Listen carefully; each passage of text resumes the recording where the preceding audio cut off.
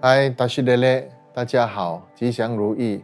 那我们今年呢，二零二二年的这个盂兰盛会呢，啊，我们非常欢喜，有请到四位啊格西啊，都会聚在一起，在大乘禅寺今年呢，会同时候再念十万佛名经，回向给所有参加这个盂兰盛会呢这个法会。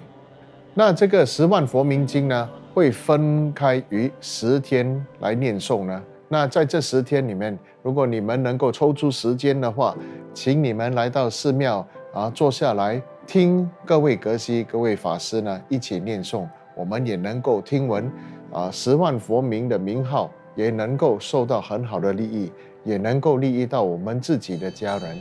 那并且我们还有一起念诵慈悲三昧水忏。